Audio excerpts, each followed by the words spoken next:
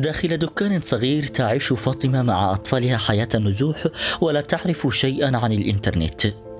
تقنية الاتصالات عبر الإنترنت هي حلم صعب المنال بالنسبة لفاطمة التي تعيش في فقر شديد يمنعها عن الحصول على الإنترنت.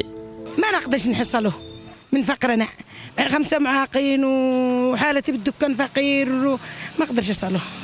نشتوه إحنا بس ما أقدرش أصله نشتوه لا يكون له حق تقارير العلاقات له حق يكون يرسلوا لي يعملوا لي سك علاقات إحنا قدينا لكم هذا ما ليش هذا معي ملايين الأسر اليمنية تعاني من صعوبة الوصول إلى الإنترنت خاصة في المناطق الريفية فيما جميع اليمنيين محرومون من تقنيات الإنترنت السريعة بسبب تدهور قطاع الاتصالات في البلاد حيث لا يزال أغلب اليمنيين يستخدمون تقنيات الجيل الأول والثالث للإنترنت وهي تقنيات لم تعد مستخدمة في معظم الدول المجاورة.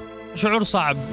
ما يكون الناس يعني بتطور وبهذا ونحن جالسين مكان إحنا إحنا وال1 إكس جالس تدور لك صورة من طاقة لطاقة من ما اسمه من شارع لشارع تدور شبكة. روحنا القرى بالعيد ما فيش إنترنت تماما ما تقدرش تحمل صورة بالواتساب.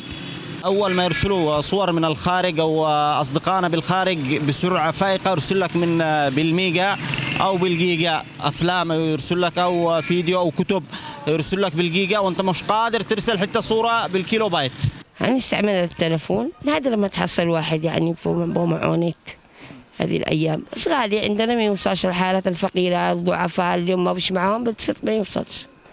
مش قادر يشتري تلفون أو يعني يدخل بالنت أو كثير ناس مسؤولون حكوميون قالوا بأن الحكومة تعمل على إيجاد حلول لضعف الاتصالات والإنترنت في خطوة لمواكبة أهم أشكال التحضر التي تنعكس على تطوير الأسر والتخفيف من معاناة المواطنين في التواصل والحصول على المعلومات.